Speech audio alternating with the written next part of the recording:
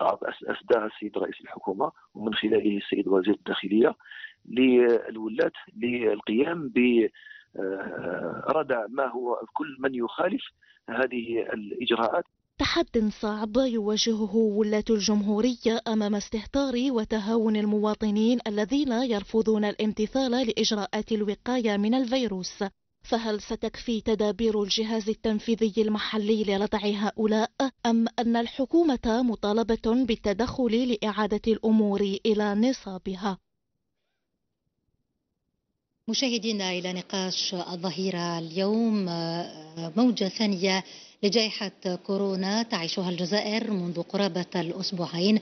ارتفاع مقلق في عدد الإصابات بالفيروس و تزامن ذلك مع الدخول الاجتماعي. عودة التلاميذ إلى المدارس وأيضا اليوم إعادة فتح المساجد لصلاة الجمعة بعد سبعة أشهر أو أكثر من الانقطاع. ما يطرح تساؤلات حول إمكانية العودة إلى الحجر الصحي خاصة وأن الوزير الأول كان قد أكد بأنه فيه احتمال اتخاذ إجراءات قاسية في حال استمر عدد الإصابات في الارتفاع بهذه الطريقة. إذا لتفاصيل أكثر عن الوضعية الوبائية في الجزائر أسعد باستضافة الدكتور الياس مرابط رئيس النقابة الوطنية لممارسي الصحة العمومية. أهلا وسهلا بك دكتور. مساء الخير أهلا وسهلا. كما أرحب بضيفي في البلاطو الدكتور شرف الدين بوناب أستاذ مساعد في الجراحة العامة. أهلا وسهلا بك أهلا بك أختي وشكرا على الاستضافة. العفو أهلا وسهلا وشكرا على تلبية الدعوة. البداية سننطلق من الحدث اليوم وهو إعادة فتح المساجد لصلاة الجمعة بعد قرابة أو أكثر من سبعة أشهر من الانقطاع في مساجد الجمهورية. يعني كيف يمكن أن نستغل صلاة الجمعة لتحسيس الجزائريين بضرورة الوقاية من فيروس كورونا خاصة وأنه شاهدنا خلال ثلاثة أشهر من فتح المساجد للصلاة كان ربما المكان الوحيد الذي شهد ربما التزام بالبروتوكول الصحي. دكتور مرابط. بسم الله الرحمن الرحيم. شكرا على هذه الدعوة ومشاركتي معكم. أنا شخصيا يعني تدخل في في باب التحسيس التحسيس والتوعية بهذا الوضع الوبائي اللي رانا فيه. ونذكروا نفوسنا نذكروا المواطنين بأنه يعني الفاعل الأول والأخير يعني في نجاح هذا المخطط نتاع نتاع الوقاية لمكافحة هذا الوضع الوبائي واحتوائه هو حنايا. حنا على مستوى الأشخاص. كل واحد إحنا هما الجنود وإحنا هما القادة وإحنا هما يعني مفتاح الخروج من هذه الأزمة الصحية بشرط أنه نلتزم ونتفاعل ايجابيا مع الوضع الوبائي. ومن هذا الباب نقول أنه كنا شفنا يعني بعد ما تم الترخيص للعودة إلى إلى الصلاة في المساجد منذ أسابيع شفنا يعني الشيء اللي وقفنا عليه. في كل مكان وشهادات يعني كثير من كثير من الناس يعني نعرفوهم في مختلف الولايات. وحتى تغطيتكم اعلاميا يعني الصلاه في المسجد كنا شفنا أنه صراحة كان فيه التزام بالشروط الوقائية والبروتوكول الصحي اللي كان يعني يعني مفروض على هذا أماكن العبادة. اليوم الشيء الإضافي هو أنه بدينا تدريجيا بال يعني بعض الصلوات ما كانش معنية صلاه الجمعة. اليوم الحمد لله عاودنا ولينا إلى الترخيص لصلاة الجمعة بتدابير وقائية. نتمنى أنه اليوم ما نقدروش نقيموا لأنه أنا شخصيا ما عندي صورة كاملة على واش صرا عبر كل التراب الوطني. ولكن الملاحظ هو يعني على مستوانا في المساجد اللي نعرفوها اللي قريبة لنا وشاهدت ثاني بعض الناس اللي نعرفوهم يعني كان فيه نوع من الالتزام نتمنى أنه دائما نكونوا في في في مستوى الوعي هذا يعني في مستوى هذا الحس المدني اولا والحس الديني كذلك لأنه الوقاية خير من العلاج. نعرف هذا إحنا نعرف النظافة وأهميتها بالنسبة للمسلم. اماكن خطبة الجمعة يمكن استغلالها بشكل كبير في هذا إضافة يعطيك يعطيك صح إضافة دور المسجد في التوعية والمرافقة عن طريق الخطاب الديني اللي يحسس ونركزوا فيه على الجانب الوقائي والإجراءات التي يعرفها العام والخاص اليوم. الكبير والصغير يعرفها في الجزائر. يعني وهي أساسا ثلاثة تباعد جسدي نظافة أيدي وارتداء الكمام نعم دكتور بوناب ماذا عن البروتوكول الصحي المطبق في المساجد؟ هل تعتقد بأنه يراعي خصوصية المسجد؟ شكرا جزيلا. بسم الله والصلاة والسلام على سيدنا رسول الله. آه، شكرا على الاستضافة. ونحييكم ونحيي مجهوداتكم آه، اللي تقوموا بها كإعلاميين خاصة في هذا الظرف اللي تمر به الجزائر. على غرار دول العالم والجائحة اللي رانا نمر بها. الأماكن يعني العامة وين يمكن أنه يكون تواجد مواطنين ولا يتواجد فيها الكثير من الأشخاص عندها تدابير خاصة من بين هذه الأماكن المساجد. المساجد نعم. المساجد هي أماكن يعني آه، كانت فيها المائضات وفيها الأماكن وين يعني يقدر الإنسان يستعمل الماء ولا يستعمل يقدر أنه ينقل هذا الفيروس. فالحمد لله قاموا السلطات والمشرفين على المساجد بغلق الحنفيات وغلق دور المياه وغلق الأماكن اللي يمكن إنه الإنسان يمر عليها وهو مريض فيخلف من وراءه. الفيروس, الفيروس نعم. ثانيا الاجراءات التي يعني آه، آه، تنص عليها الدخول إلى المساجد هي ارتداء الكمامه وهذا شيء جميل. إحنا نعرف أنه الفيروس ينتقل عبر اللعاب لما يتكلم الإنسان ولا الهواء اللي يخرج من الفم تاعو ولا من لي بومو من الرئتين فهذا يقدر يحمل الفيروس. فارتداء الكمامة يمكن أنه يحافظ على الإنسان وما ينتقلش الفيروس من شخص إلى آخر. إلى إضافة إلى ذلك المصلين ياخذوا السجادات معهم لأنه نعرفوا أنه يمكن أن الإنسان لما يسجد في المكان يقدر يخلف من وراءه لعاب أو يخلف من وراءه آه، يعني مخاط أو وما إلى ذلك. فالإنسان لما يحضر السجادة نتاعو يمكن أنه يساهم في آه، يعني آه، نحبسوا سلسلة العدوى. وأؤكد في هذا المجال انه الإنسان نضيف إلى كل هذه الاحتياطات. الإنسان لما يشوف روحه مريض أو يشوف روحه عنده أعراض أو عنده حمى أو عنده ما آه، سندروم جريبال عنده زكام هو يقول بأنه ربما زكام من المفروض أنه لا يذهب نعم يتفادى. حفاظا على حياة المسلم. المسلم. نعم. أنا ممكن نضيف يعني نعم ننصحوا يعني الأشخاص اللي لي بيرسون فراجيل يعني الأشخاص نعم. الضعاف. نعم. كبار في السن ولا عندهم أمراض مزمنة, مزمنة. في المرحلة هذه اللي رانا فيها هم يعني مرحليا ظرفيا نعم. أنا نقول باللي مليح يبقاو يتفاداو يعني الصلاة في المسجد. علاش؟ لأنه هما يعني الصحة نتاعهم ضعيفة يكونوا ممكن عرضة ل يعني للإصابة بمرض وتكون العواقب أخطر عليهم.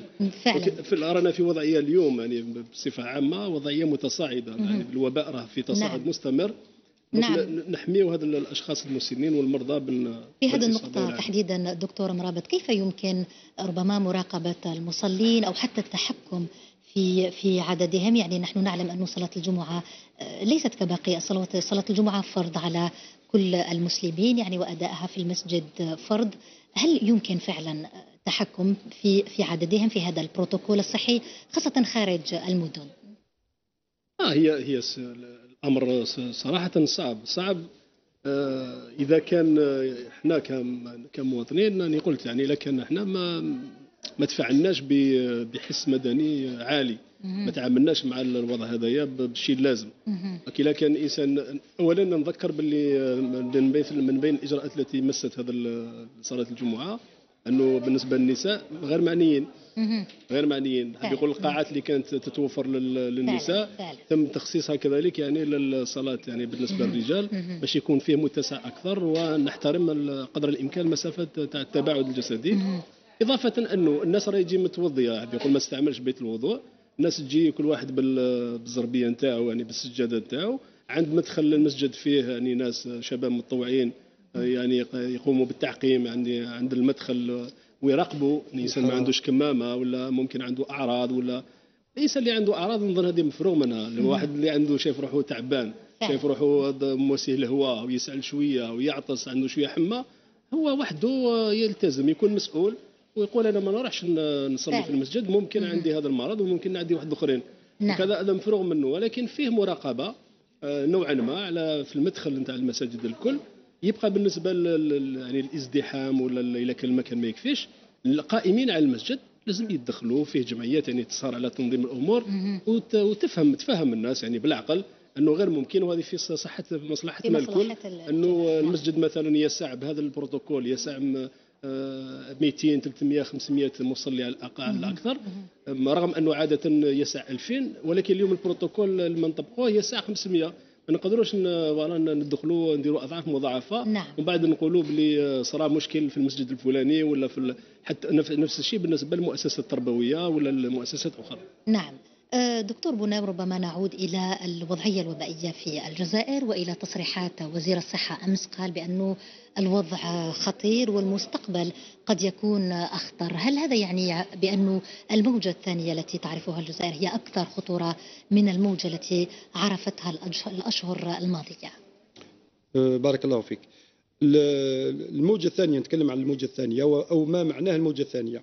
الموجة الثانية هو مصطلح في الإبيديميولوجيا في في العلم الإحصائيات. الموجة الثانية نطلقوا على الموجة لما تكون آه، لما تكون عندنا مثلا موجة أولى عندنا عدد من الحالات متصاعد ثم آن بلاطو كاين آه، توقف الموجة ثم تنخفض إلى حد معين أو ربما تختفي. إذا نزلت إلى حد معين أو اختفت ثم يكون هناك موجة أخرى يعني أعداد تتزايد فهي موجة ثانية. إذا الجزائر تعيش موجة ثانية على غرار كل دول العالم. هذه أولا. ثانيا ما لاحظناه؟ لأنه أنا آه، أعمل في آه، مستشفى الدويرة وفي آه، قسم الجراحة وقسم الجراحة لمستشفى الدويرة منذ أفريل الماضي ونحن يعني مخصص كوفيد. نتعاملوا مع الكوفيد. كنا توقفنا مدة شهر في سبتمبر بدينا نعملوا العمليات ثم الآن مع السيد الوزير والسادة المديرين مدير الصحه ومدير المستشفى. عاود رجعنا إلى آه، الكوفيد والمصالح اللي كانت تخدم كوفيد في أوت وفي آه، جويي. عاودت رجعت إلى الكوفيد نظرا لتزايد عدد المصابين. ما لاحظناه في الميدان حاليا انه هذه الموجة أكثر واكبر حدة من الموجة السابقة. المرضى لما يجيوا أو أهالي المرضى يقول لك كان يوم يومين بدات عليه الأعراض ثم يولي un cas compliqué تعقدت الحالة. نعم. نعم.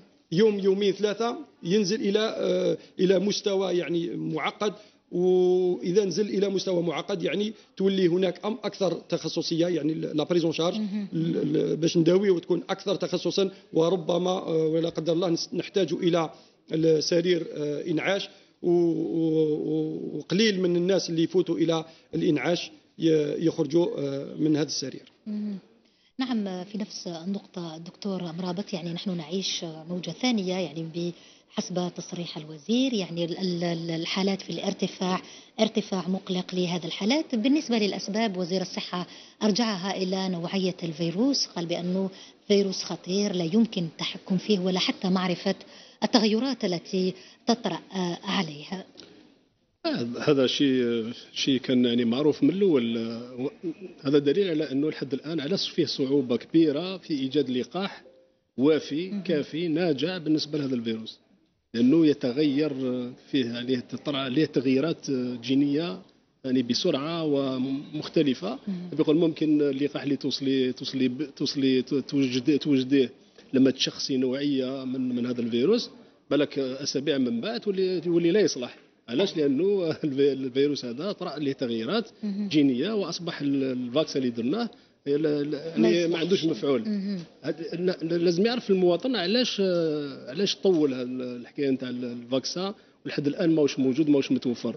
حتى في البلدان الأكثر تقدما واللي تصنع اللقاحات لحد الآن ماهوش متوفر ماهوش موجود. اذا هذا هو السبب.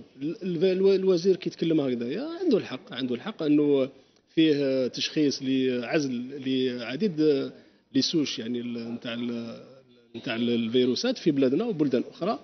آه، ولحد الآن لما نتكلم على مرسيليا مثلا في المخبر اللي يشرف عليه الأستاذ راولت مثلا يتكلم على أنه هما في سنة تقريبا راهم في 15 نوع نتاع نفس الفيروس. حب يقول طرأ عليه تغييرات. على مستواهم.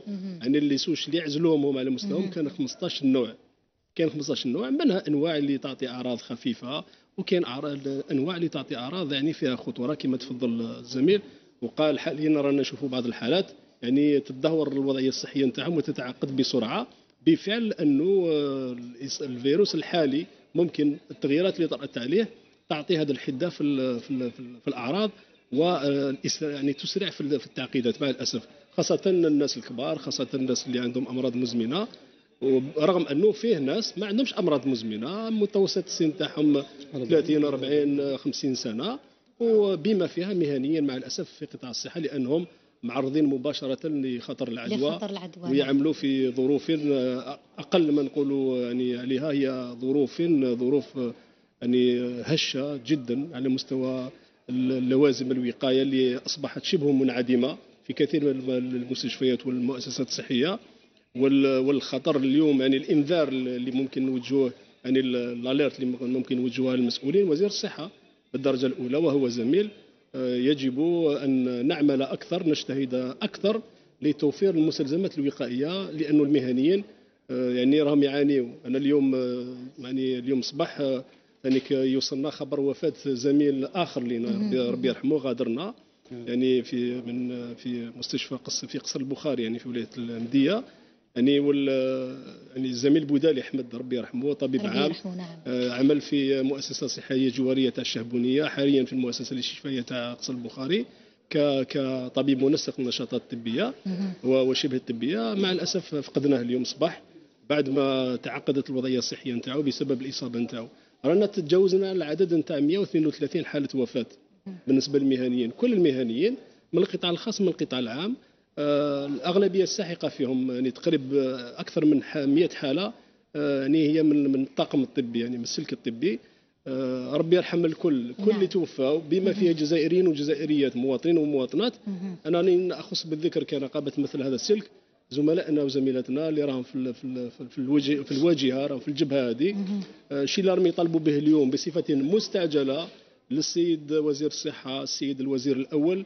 كل المسؤولين على كل المستويات يديروا مجهود أكثر لتوفير يعني مستلزمات الوقاية لأنه غير ممكن نواصلوا العمل في هذه الظروف بدون حماية.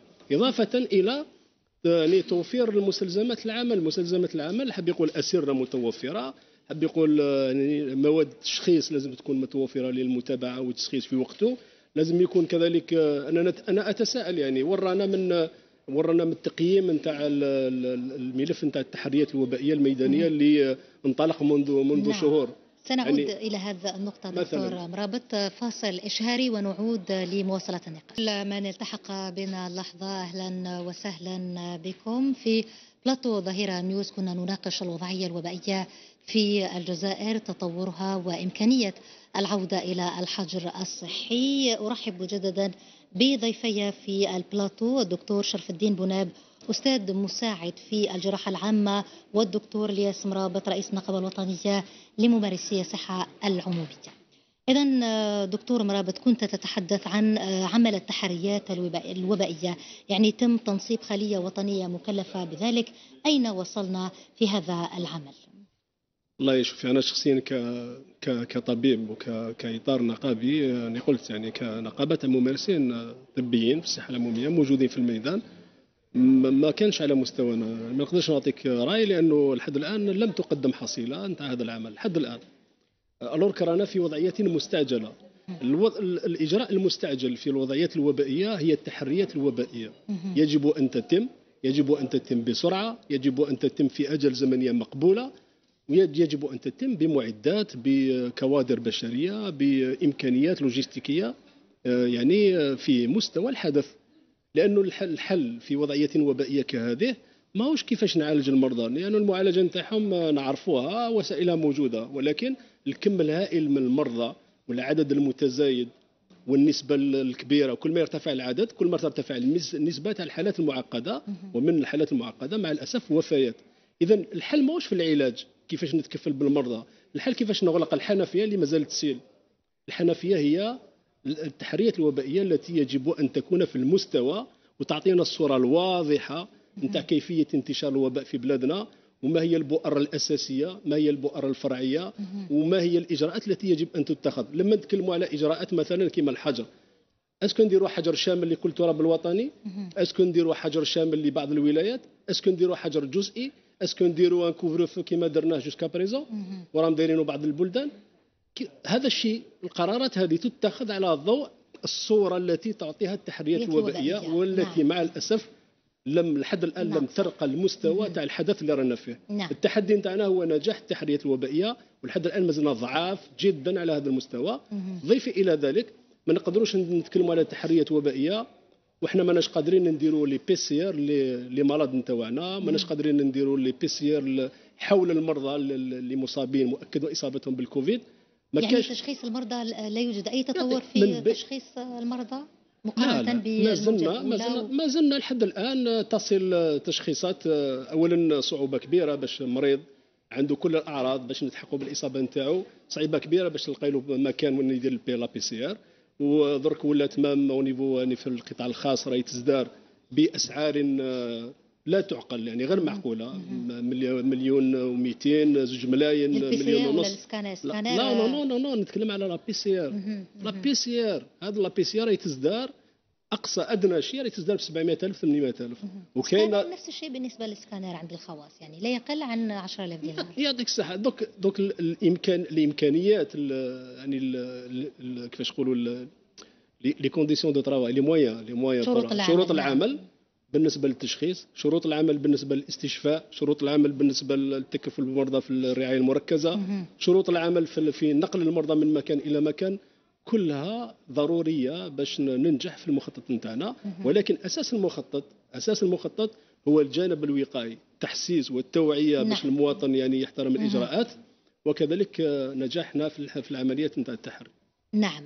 دكتور بناب ماذا عن الوضع في المستشفيات؟ يعني أنتم في الميدان.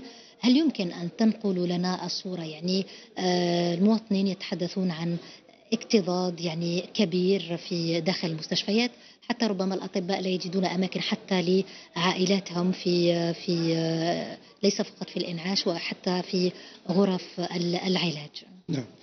أه، قبل أن أجيب على هذا السؤال أبدأ باشارات إحصائية.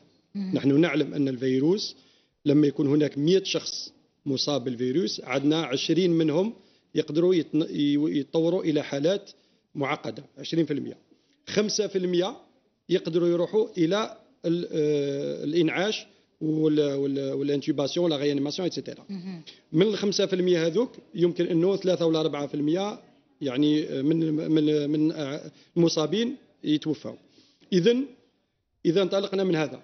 كل 100 شخص عندنا 20 آه، يشكلوا خطورة ولازم لهم المستشفى.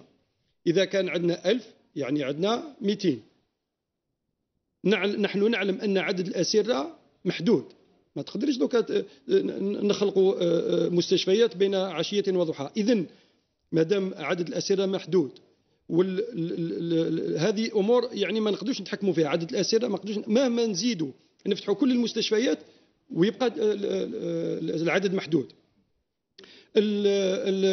الإمكانيات عندنا إمكانيات ولكن تبقى محدودة. هذه ما تقدرش تتحكمي فيها اليوم تخدمي عندك عدد معين يخدم لك مثلا هذا لي ماسك اللي يستعملوه الأطباء.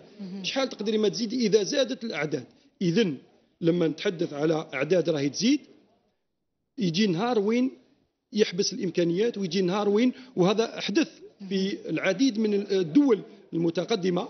شاهدنا في الموجة الأولى في أوروبا في فرنسا في إيطاليا أنهم الأطباء وللأسف يعني وصلوا أنهم يخيروا بين المريض اللي يداويوه المريض اللي فعلا. يخليه يموت. لماذا؟ لأنه مهما تكون القوة تاع الدولة مهما يكون تطور القطاع مهما يكون الإمكانيات اللي عندك لو كان يزيدوا الأعداد يجي الوقت اللي راح تولي آه لا تكفي ونوليو في أمور أخرى لا قدر الله. اذا إحنا هذه الأمور هذه مهما نزيدوا يجي نهار اللي ما نقدروش. اذا الحاجة اللي نقدروا نتحكموا فيها هي عدد الإصابات. عدد الإصابات قلنا إنه في كل 100 كاين 20 اللي كل ما نقصنا في عدد الإصابات راح نقصوا في عدد المرضى اللي لازم لهم الاستشفاء واللي لازم لهم يدخلوا لا ريانيماسيون هذه آه، من جهة. من جهة أخرى في الميدان إحنا الشيء اللي لاحظناه اليوم قلت لك بأنه منذ أفريل فتحنا آه، خمسة نتاع المصالح للكوفيد في مستشفى الدويره أتكلم على مستشفى الدويره تفتحي مصلحة الصباح على الساعة الثانية الثالثة يكون هذه المصلحة مفتوحة. من يعني آه، مملوءة. فشحال ما راح تقدري تزيدي. المصلحة نهضر الآن في في الميدان في في دويرة تقريبا كل المصالح راهي مملوءة. أسيرة الإنعاش. ما كانش بزاف على المستوى الوطني. الشيء اللي راه عندنا راه ربما راهي 50 60% الآن راهي مملوءة مي راح يجي نهار وين آه، تملأ على آه، آخرها وهنا راح نولي نوقعوا في آه، مشكل كبير. نعم دكتور مرابط ماذا عن طريقة العلاج؟ هل تم تطويرها أو دائما الاعتماد على البروتوكول ونفس البروتوكول المعتمد؟ نفس البروتوكول اللي راه معتمد نفس البروتوكول اللي راه مستعمل يعني ببعض يعني بعض الاختلاف بين مصلحة إلى مصلحة ولكن يعني عادة الشيء اللي نشوفوا فيه يعني نفس المضادات الحيوية. كانوا يستعمل بروتوكول تاع الكلوروكين إضافة إلى يعني مضاد حيوي آخر. وكاين وين يستعمل مضاد حيوي وحده بدون الهيدروكسيد كلوروكين ولكن الأدوية الأخرى كلها ادويه تاع الأعراض. لما نتكلم على الحمى الباراسيتامول لما نتكلم على la vitamine C ولا le zinc ولا يعني وفيه أدوية أخرى تتمد على جال المضاعفات تاع المرض التخثر تاع الدم وال problème تاع les embolies. هي la coagulation تاع le sang. هذو مش هذو أدويات تعطى لكل مرة تقريبا. يعني آه، آه، للتقليل من المشاكل نتاع التخثر تاع الدم والجلطات اللي ممكن تتسبب يسبب فيها المرض بالتعقيدات نتاعو. وكذا هو العلاج اللي راه يعطى. ولكن خليني برك نقول باللي كما قال الزميل 80% على الأقل تاع المرضى ما لازم لهمش علاج. ما يستحقوش دواء. أو قاعد في الدار بالأعراض البسيطة تاعو ياخذ دواء على جال الحمى على جال الالم تاع الرأس ممكن. وياخذ يعني عصير ياخذ دي تيزان ياخذ ويدير الحجر الصحي نتاعو في البيت باش ما يعديش حوله ما يعديش آخرين. في 80% من الحالات هكذايا اللي يبقى اللي فيها شوية تعقيدات كان لازم لهم يدخلوا المستشفى وكاين ولكن أنا حبيت نضيف شيء اللي كما قالوا زميلي لا سمح. نعم. كما كي نقولوا باللي كل المصالح يعني خصصناها الكوفيد وامتلأت. المواطن الكريم لا يسمع فينا. يفهم بلي المصالح الأخرى وشنو ما كانش قاعات مغلقة. ومن بعد فتحناها. non هي مصالح كانت مخصصة لأمراض أخرى. طب النساء طب الداخلي الحنجرة والأنف l'ophtalmo ال médecine interne la chirurgie. كل هذه المصالح النشاطات نتاعهم توقفت منها من يعني تم تحويلها إلى مستشفيات أخرى ولكن بسرعة المستشفيات الأخرى كذلك يصلها الكوفيد. ونعاودوا نولوا نغلقوا المصالح هذيك في المتخصصة. دونك أصبحنا في حلقة آه مفرغة. آه علاش؟ لأنه الوتيرة نتاع انتقال العدوى ما راش متحكمين فيها. وهذه تعاود تولينا نتكلموا على الأهم هي الوقاية والإجراءات الوقائية التي يجب أن نلتزم بها جميعا.